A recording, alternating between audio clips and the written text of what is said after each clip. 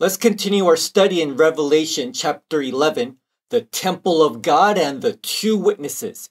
Don't forget to subscribe if you like these teachings. Revelation 11, verse 1.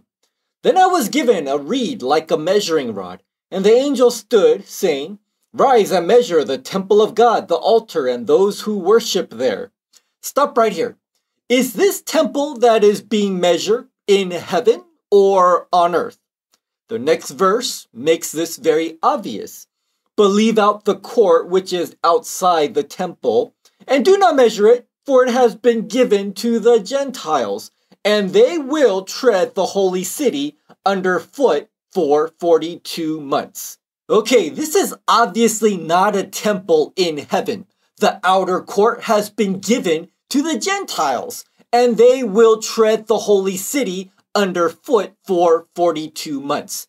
The Gentiles here are referring to the non believers because they will tread the holy city underfoot for 42 months. To tread something underfoot is to mean not having regard for it or destroying something and stepping on it, putting it under your feet. The Lord promises us when we come back after the Great Tribulation that we shall trample the wicked in Malachi 4 3. You shall trample the wicked, for they shall be ashes under the soles of your feet on the day that I do this, says the Lord of hosts. Why will they be ashes? Because most of them will have been burned up in the great tribulation. So John was told to measure the temple of God that is there. There are Christians who say the Jewish temple is not to be rebuilt. If it is rebuilt, it is for the Antichrist, because the temple of God are believers. Well, God calls what John is told to measure the temple of God. These people also claim John said concerning Jerusalem in Revelation 21 22, But I saw no temple in it, for the Lord God Almighty and the Lamb are its temple. But when is Revelation 21? That's after the 1,000 year reign of Christ. This is after God makes a new heaven and a new earth. Read how chapter 21 starts. Revelation 21 1. Now I saw a new heaven and a new earth, for the first heaven and the first earth had passed away. And which Jerusalem is this? There's two. One is in heaven and one is on earth. This is the heavenly Jerusalem. John says in Revelation 21:10 and 11, "And he carried me away in the spirit to a great and high mountain and showed me the great city, the holy Jerusalem, descending out of heaven from God, having the glory of God." Some people don't know this, but some of the holy things, like the temple, the Ark of the Covenant, and such are copies of things in heaven. Hebrews 9:24 For Christ has not entered the holy places made with hands. Made with hands is referring to things on earth made by men, which are copies of the true, but into heaven itself, now to appear in the presence of God for us. When Moses made the tabernacle, he was told to make it according to the pattern which he saw. That means there was one in heaven at that time. Hebrews 8 4 and 5. For if he were on earth, he would not be a priest, since there are priests who offer the gifts according to the law, who serve the copy and shadow of the heavenly things, as Moses was divinely instructed when he was about to make the tabernacle. For he said, See that you make all things according to the pattern shown you on the mountain. Some people are confused and don't realize what's on earth are copies of things in heaven, or they think God doesn't want the one on earth. But that's contrary to God's word because God wants these copies on the earth. Let's continue and they will tread the holy city underfoot for 42 months. 42 months is three and a half years. This is likely to happen at the second half of the Great Tribulation, after the two witnesses are killed. After the two witnesses are killed, the Gentiles take over Jerusalem, and the Jews flee into the wilderness for 1,260 days, which is another three and a half years. Revelation 12 is where it tells us the number of days 1,260 days. But here it says 42 months. When the Jews flee into the wilderness, the Gentiles will be free to tread the holy city underfoot for 42 months. Now, these two verses tell us the Jews will likely rebuild their temple. However, the place where the temple was believed to be there sits the Dome of the Rock, a Muslim holy site. The Muslims believe the Dome of the Rock is where Muhammad ascended to heaven and met God. Muhammad ascended seven levels of heaven. At the first level, he met Adam. At the second level, he met John the Baptist and Jesus. At the third, Joseph. The fourth level, Enoch. The fifth, Aaron the sixth, Moses. And then the seventh level, he met God. There, God told him Muslims are to pray 50 times a day. As he was going back down, Moses met him and said, 50 is too many. Ask God to reduce it. So he went back and forth nine times like this until he got God to make it just five daily prayers. That's how the story goes. So this site is holy to Muslims. So, with the Dome of the Rock sitting there, the Jews can't rebuild their temple. But here's the catch when the Jewish temple was destroyed by the Romans, they completely leveled it. You couldn't even tell where the temple stood. The words of Jesus was fulfilled when he said concerning the temple in Matthew 24 2, and Jesus said to them, do you not see all these things? Assuredly I say to you, not one stone shall be left here upon another that shall not be thrown down. Now the temple was destroyed in 70 AD. Then in the second century, a temple to Jupiter was built there.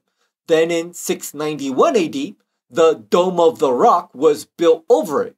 However, there was also a Roman fort in the area during the time of the Second Temple. There is a good chance the Dome of the Rock was actually built over the old Roman fort and not over the temple site. Remember, the Romans completely leveled the Jewish temple when they destroyed it. You couldn't even tell where the temple stood unless you were alive and saw it.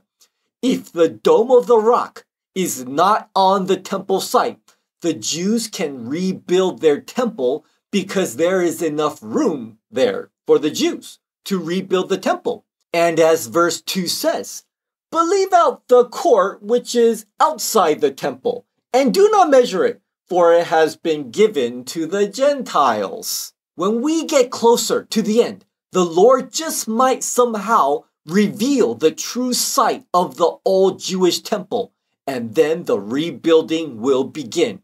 The Jews actually have everything they need to begin worship in the temple. All they're lacking is the temple itself. There's a lot of interesting things just waiting to happen. I believe the Jews also have the Ark of the Covenant. I'll make a video about the coming third Jewish temple and the Ark of the Covenant. Now the temple needs to be rebuilt for end time purposes and also probably for Christ's millennial reign. When Jesus reigns on earth, there will be a temple on earth and a temple in heaven. The temple isn't supposed to be a place where God wants us to worship. It's just to serve as a copy of what's in heaven. There is a temple of God in heaven right now, but that will be done away with after Christ's 1,000 year reign on earth. After Christ's 1,000 year reign, God will make a new heaven and a new earth where there is no temple. God and Jesus will be the temple during that time. verse 3 And I will give power to my two witnesses, and they will prophesy 1,260 days, clothed in sackcloth. 1,260 days is exactly three and a half years on a 360 day calendar. God is going to shorten the seven year Great Tribulation by using a 360 day calendar and counting that as one year. So for the first three and a half years, 1,260 days, the two witnesses will be prophesying after they are killed, the Jews flee into the wilderness where they hide for three and a half years, another 1,260 days. So the seven year Great Tribulation appears to be two sets of 1,260 days. Verse 4 These are the two olive trees and the two lampstands standing before the God of the earth. This verse takes us back to Zechariah's prophecy of the two olive trees. And this verse also tells us that a prophet is a lampstand as well as an olive tree. I'll post a link to that study above and below. I do not believe these two witnesses are Moses and Elijah or any other Old Testament saint. God gave clues about what he's going to do in the end time. He left pictures all over the Old Testament. However, he never brought back a deceased Old Testament saint to continue their ministry. If they were Old Testament saints, God would tell you, look out for these guys. But the Lord simply calls them my two witnesses. Besides, Moses and Elijah appeared in glory on the Mount of Transfiguration with Jesus. They are currently in heaven and they are immortal and incorruptible. The Bible says flesh and blood cannot inherit the kingdom of God. And the whole point of being made immortal and incorruptible is so you never have to die again. The two witnesses will likely be two people completely new, born in their generation, like John the Baptist the end time Elijah, who comes before the two witnesses, will also be someone born in his generation, someone completely new. Now, I believe the two witnesses right now are Orthodox Jews. They do not believe Jesus is their Messiah. But after the rapture, these two guys will turn to Jesus and become the two witnesses Right now, they are probably like Saul before he became the Apostle Paul. They are very zealous for God, but they don't know Jesus is their Messiah. The reason I don't believe they are Christians right now is because if they were, they would go up in the rapture with the church. Of course, I could be wrong, and God will simply leave behind two very godly Jews to be the two witnesses, but that doesn't seem like something God would do. They will more likely accept Jesus after the rapture and encounter God in a very powerful way that transforms them into the two witnesses. Verse 5 And if anyone wants to harm them, fire proceeds from their mouth and devours their enemies. And if anyone wants to harm them, he must be killed in this manner. I do not believe the fire that comes out of their mouth is literal fire. A bullet will kill the two witnesses faster than they can shoot fire from their mouth. I believe this is power to execute by speaking the word of the Lord, which is likened to fire. Peter demonstrated this when Ananias and Sapphira fell down dead at his feet. The Old Testament Elisha symbolizes the two witnesses. The king wanted to kill Elisha because of the famine in Samaria. The king blamed Elisha and God for the calamity. The king sent a messenger to kill Elisha while Elisha was sitting with the elders. In 2 Kings 6:32 we read, "But Elisha was sitting in his house, and the elders were sitting with him.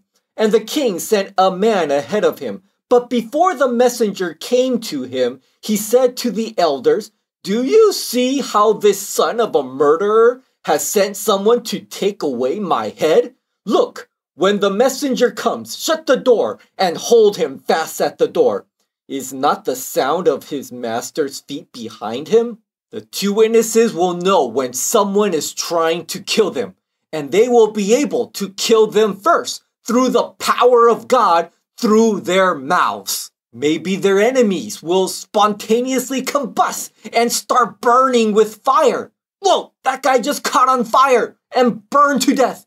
He must have been trying to kill the two witnesses. Verse 6 These have power to shut heaven so that no rain falls in the days of their prophecy, and they have power over waters to turn them to blood, and to strike the earth with all plagues, as often as they desire. Now, just because they have power to do these things, it doesn't automatically make them Moses and Elijah. It only makes them powerful prophets like Moses and Elijah. If it is Moses and Elijah, or Enoch, God would simply tell you. The Lord never promised to send Moses and Enoch. He did promise to send Elijah, but Jesus made known that the Elijah forerunner is someone completely new, like John the Baptist. Verse 7 When they finish their testimony, the beast that ascends out of the bottomless pit will make war against them, overcome them, and kill them. The beast is the Antichrist. He overcomes them. Verse 8 And their dead bodies will lie in the street of the great city, which spiritually is called Sodom and Egypt, where also our Lord was crucified. Places have spiritual names. Jerusalem spiritually is called Sodom and Egypt. The USA has a spiritual name, and that name is Ephraim. You can watch that video in the link above. Then those from the peoples, tribes, tongues, and nations will see their dead bodies three and a half days and not allow their dead bodies to be put into graves. How will people and nations see their dead bodies for three and a half days? We'll expect all the major news channels to be there covering this event CNN, BBC, and all the others. And those who dwell on the earth will rejoice over them, make merry, and send gifts to one another, because these two prophets tormented those who dwell on the earth.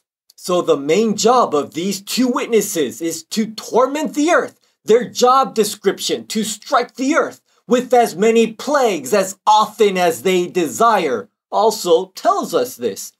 Some say one of the two witnesses is Elijah. Well, Jesus said Elijah is coming and will restore all things. Elijah's job is to restore all things. The job of the two witnesses is to torment the earth. They don't restore anything. If you're new to this channel, then this is all new to you. Let me explain very quickly. The end time Elijah restores all things and prepares the church for the rapture. Once he's finished, he'll get raptured out with the church. After he and the church are gone, the two witnesses will appear during the Great Tribulation. Verse 11. Now, after the three and a half days, the breath of life from God entered them, and they stood on their feet, and great fear fell on those who saw them. God gave a picture of this through Elisha's bones Remember, Elisha represents the two witnesses. Elijah represents the end time Elijah forerunner. 2 Kings 13:21. So it was as they were burying a man that suddenly they spied a band of raiders and they put the man in the tomb of Elisha. And when the man was let down and touched the bones of Elisha, he revived and stood on his feet. This is to foreshadow how the two witnesses will rise and stand on their feet after they are killed. Verse 12 And they heard a loud voice from heaven saying to them, Come up here! And they ascended to heaven in a cloud, and their enemies saw them. In the same hour, there was a great earthquake, and a tenth of the city fell. In the earthquake, 7,000 people were killed, and the rest were afraid and gave glory to the God of heaven. Now, this next verse is important because it gives us a time frame.